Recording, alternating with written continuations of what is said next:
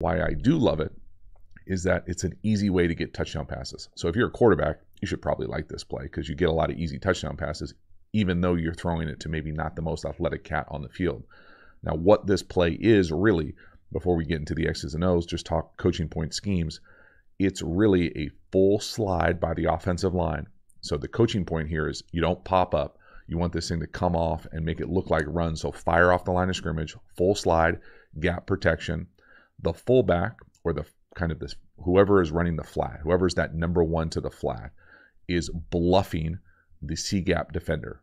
And so they run up, like it, making it look like power, trying to like kick out, and you bluff the outside quad of that defender and you run into the flat.